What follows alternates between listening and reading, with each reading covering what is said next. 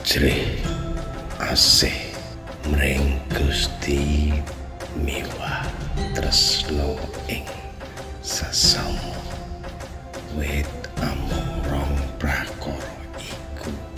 kita bisa tentrem rayu aning jagat telah